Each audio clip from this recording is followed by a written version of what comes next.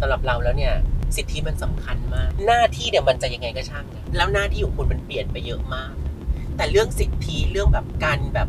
เคารพการเห็นเรื่องศักดิ์ศรีความเป็นมนุษย์ เราว่ามันไปต่อได้มากกว่า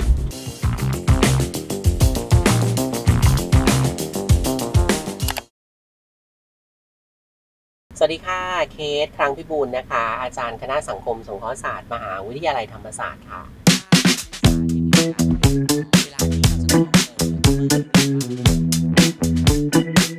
เราอาจจะไม่ค่อยเห็นบทบาทของคนที่ที่ทำเกี่ยวกับสังคมสงเคราะห์แต่ว่าเราอาจจะเห็นงานขององค์กรมูลนิธิสมาคม องค์กรสาธารณประโยชน์นะคะ ถ้าเห็นแบบนั้นเนี่ยก็แสดงว่ามีนักสังคมสงเคราะห์อยู่ในองค์กรนั้นด้วย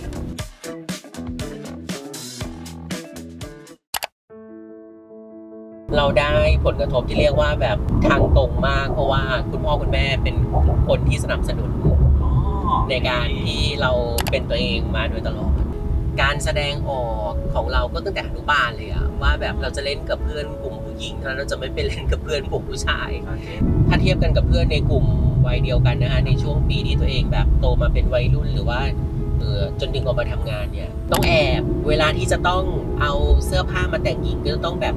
เอาเสื้อผ้าออกมาเอานอกบ้าน ก่อนจะเข้าบ้านก็จะต้องเอาเสื้อผ้าไปเก็บอะไรอย่างเงี้ยค่ะ เรามาแต่งหญิงตอนที่เรามาเรียนมหาวิทยาลัยธรรมศาสตร์คือต้องบอกว่าไม่ได้เป็นเพราะว่าธรรมศาสตร์ปล่อยนะแต่เราเลือกเรียนธรรมศาสตร์เพราะเรารู้ว่าที่นี่สามารถแต่งหญิงได้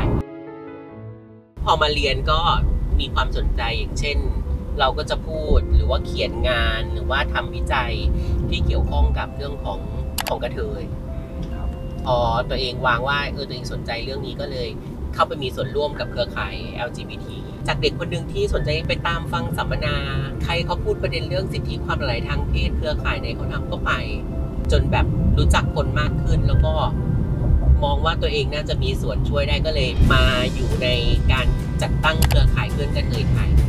ซึ่งก็เป็นเครือข่ายแรกที่ทำในเรื่องของสิทธิมนุษยชนของคนที่เป็นกระเทย สมัยนั้นก็จะมีการตั้งชื่อตัวย่อเนาะเพื่อให้ทำให้คนจำง่าย เราก็เรียกว่าไทย DGA ไทย Transgender Alliance ก็คือ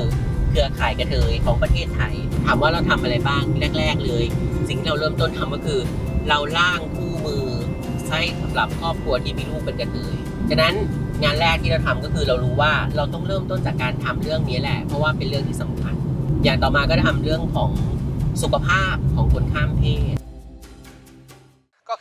เข้าไป แต่ว่าอยากจะไปเรียน แต่ว่าไม่ได้ทำตามกฎของโรงเรียน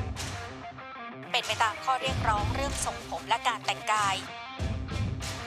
ส่วนเรื่องทรงผมสีผมหยกบอกว่าเป็นสิทธิพื้นฐาน เราพูดในฐานะที่เรามีประสบการณ์แบบเดียวกันกับโยก คือเราต่อสู้เรื่องการแต่งกายมาตลอด โดยเฉพาะการแต่งกายที่ไม่ตรงกับเพศกำเนิดฉะนั้นเรากับโยกไม่ได้ต่างกันเลยแต่สิ่งหนึ่งเนี่ยแหละค่ะที่ทำให้เราเห็นชัดเรื่องนี้ก็คือว่า คนไม่ได้มีวิธีคิดในการมองสิทธิมนุษยชนอย่างรอบด้านฉะนั้นในความไม่เข้าใจแบบนี้ส่งผลยังไงบ้าง ส่งผลให้การเคารพกฎระเบียบมีน้ำหนักมากกว่าคุณค่าความเป็นมนุษย์ทำให้เรามองไม่เห็นชีวิตมนุษย์ในด้านอื่นเช่น คุณไม่รู้หรอกว่าคนจนต้องเจออะไรบ้าง แต่คุณก็จะมองว่าก็มันจนนะไอโครงสร้างสังคมมันไม่ได้เพื่อทำให้คนสามารถแบบมี โอกาสในการเข้าถึงทรัพยากรนี่แหละมากไปกว่านั้น สังคมก็จะมองไม่เห็น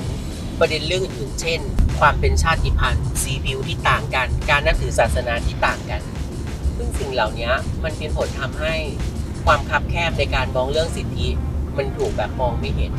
กระบวนการเคลื่อนไหวทุกที่นะคะ มีช่องทาง มีวิธีการ แล้วก็มีรูปแบบที่หลากหลายในการผลักดัน หรือว่าการร้องเรียน ถ้า ช่องทางการ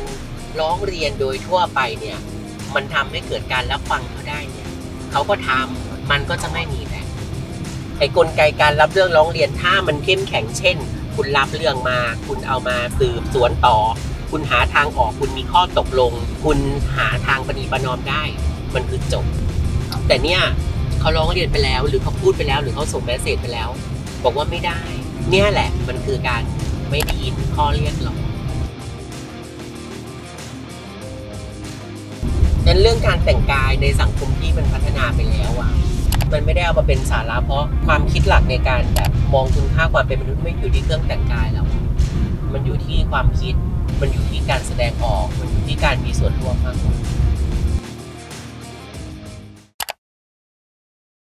เราว่าการเปลี่ยนแปลงในการศึกษาของรัฐบาลใหม่ ความเป็นแนวโน้มก็คือว่าการรื้อไปถึงแบบโครงสร้าง การจัดการในระดับกรมหรือในระดับสำนัก เช่นเมื่อก่อนเรามีสำนักคณะกรรมการการศึกษาขั้นพื้นฐานสำนักงานอุดมศึกษา ซึ่งตอนนี้มันมาเป็นกระทรวงอุดมศึกษาเนี่ยมันไม่มีความแบบลิงก์กันนั้นเมื่อมันไม่ลิงก์กันหรือแม้แต่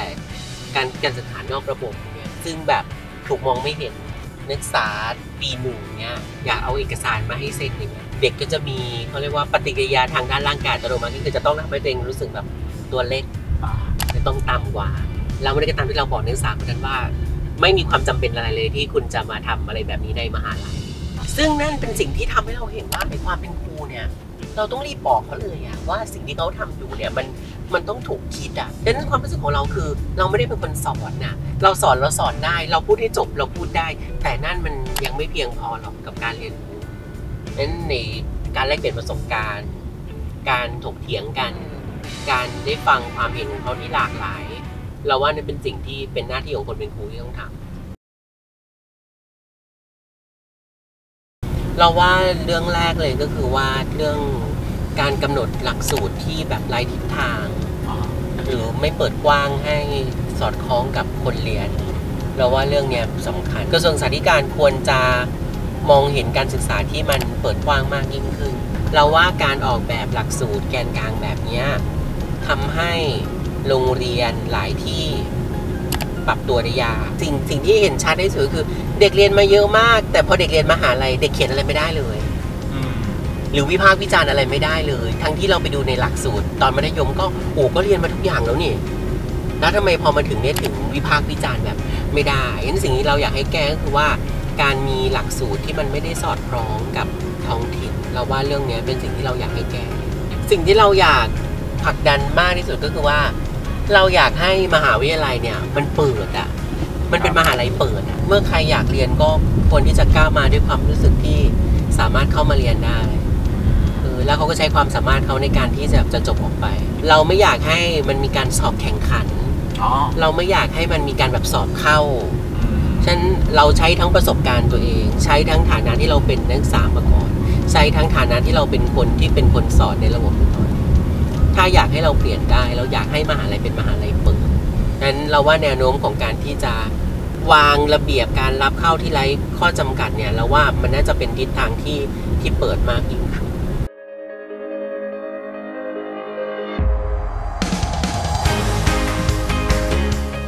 เพราะทุกอาชีพมีคุณค่า เคส อาจารย์มหาวิทยาลัย และนักต่อสู้เพื่อสิทธิมนุษยชนของเพศหลากหลาย